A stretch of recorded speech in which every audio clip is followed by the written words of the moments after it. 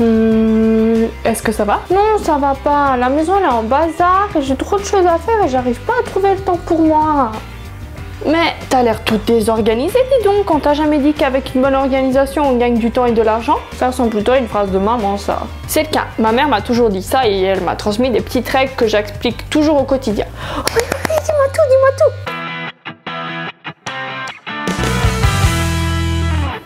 Bienvenue sur Bourgeois Ambitieux, je m'appelle Andrea et moi Sophia. Et aujourd'hui je viens te partager trois règles d'organisation pour être plus efficace au quotidien. Comme j'ai dit dans l'intro, ces trois règles m'ont été transmises par ma maman, mais je les ai adaptées à mon quotidien. Je commencerai donc par te donner un conseil qui est de tenir compte de ta personnalité et des choses qui fonctionnent pour toi. Ce que je vais te partager fonctionne pour moi et pour pas mal de mes proches, mais ne les prends pas telles quelles, donc adapte-les. Oui maîtresse la première astuce est de planifier. Pour cela, il faut que tu aies un outil qui te corresponde. Tu peux choisir l'application Notes de ton téléphone, l'application Rappel, une application de to-do list, un agenda, un cahier, etc. Essaye juste de euh, pas avoir une feuille volante qui peut se perdre à tout moment ce qui fonctionne pour moi, c'est le bullet journal, comme je te l'ai déjà partagé dans ma vidéo des rituels du matin que tu peux retrouver là ou là. Quand tu planifies, il y a deux principes que tu te dois d'appliquer. Que tu choisisses de euh, noter toutes tes tâches que tu as à faire dans les détails jusqu'au moindre, moindre petit pas, ou bien que tu choisisses de mettre que les choses euh, générales, tu te dois de prioriser. Tu peux appliquer ça euh, soit en écrivant tes tâches importantes au début et puis après les tâches plus secondaires.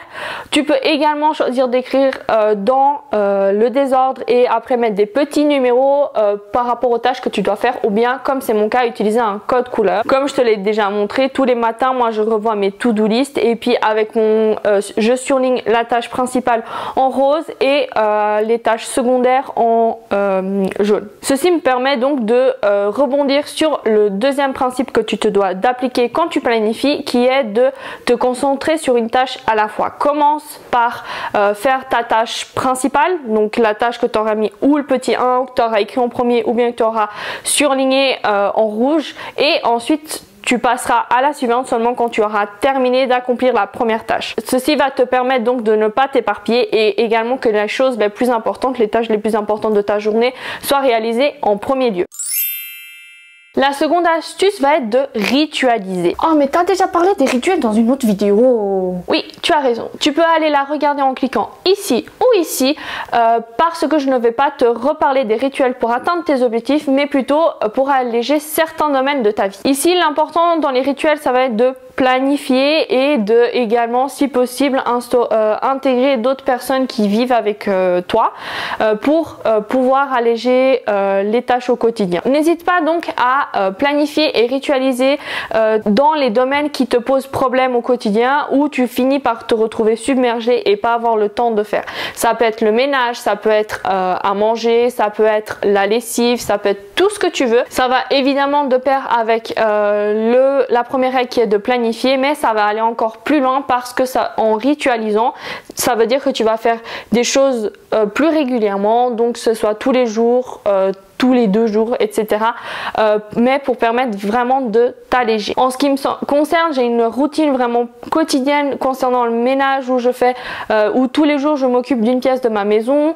J'ai aussi une routine lessive où je sais quel jour je fais les lessives, tel jour je plie le linge et puis je le range. Également une routine par rapport au repas, quel jour je fais mes courses, quel jour je fais, je prépare mes repas pour la semaine, etc. Concernant YouTube également, je sais que tel jour je vais filmer, les autres jours je vais monter pour que euh, le dimanche je puisse publier ma vidéo. Donc c'est des petites choses que j'ai mis au, quotidien pour m'aider à gérer un peu mon boulot à plein temps et euh, ces projets que j'ai de côté tout en ne pas négligeant ma maison et tout ce qu'il y a autour. Tes euh, rituels n'ont pas besoin de s'étendre sur tous les jours. Comme je t'ai dit, ben, le ménage, pour moi, c'est le cas.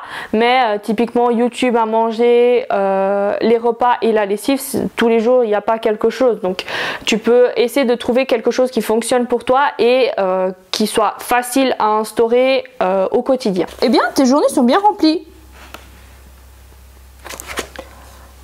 Peut-être que je devais dormir moins. Idée ce que tu es en train de dire, tiens. Tu peux réfléchir à ce que tu aimerais devenir pour trouver un sens à ta vie. Bon, c'est un autre sujet de vidéo, mais bon. Hmm.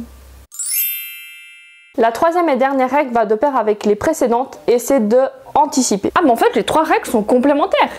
Hmm, que c'est beau Si tu sais que tel et tel jour tu vas pas pouvoir te dédier, dédier à tes rituels ou que c'est une semaine où tu rentres tard tous les jours et que tu as l'habitude de faire telle et telle chose, l'important ça va vraiment être d'anticiper pour pouvoir t'alléger au maximum et ne pas casser tes habitudes. Si tu sais que telle semaine tu ne pourras pas faire du sport en rentrant, tu peux anticiper en euh, mettant ton réveil une heure plus tôt le matin et faire ton sport avant de partir au travail. Certains rituels peuvent même relever de l'anticipation. Par exemple, si tu sais qu'en semaine tu rentres tard et que tu es fatigué, euh, tu peux anticiper tes repas le week-end afin euh, d'éviter que tu te tournes vers du takeaway ou du fast-food. C'est tout pour aujourd'hui. C'est une vidéo assez courte parce que justement elle a été anticipée et je n'ai pas forcément eu le temps de faire quelque chose de très élaboré comme la, précédente vidéo. Comme quoi ce que je vous raconte c'est pas du blabla. Et je t'invite également à me dire dans les commentaires dans quel domaine tu aimerais avoir des astuces d'organisation plus concrètes telles que comment faire plutôt que que faire comme c'est le cas dans cette vidéo. Et si les contenus t'a plu, n'hésite pas à t'abonner. Oh, j'ai trouvé ce que je veux faire. Euh, tu m'interromps, mais vas-y, raconte-nous. Je vais être influenceuse. Euh... Influenceuse de quoi? Ben, influenceuse, gagner de l'argent et être sponsorisée par des marques comme les meufs sur Insta. Euh, mais. Oh oui, oui, Faut, faut, faut tout de suite que je crée un compte et que je contacte plein de marques. Mais ça n'a rien à voir avec notre sujet là, on parle d'organisation. Mais qu'est-ce que tu vas faire de tout ça J'ai pas le temps là, faut que je pense à mon avenir là. Euh, mais. C'est pour moi que ça finit toujours. Bon, à la semaine prochaine, ciao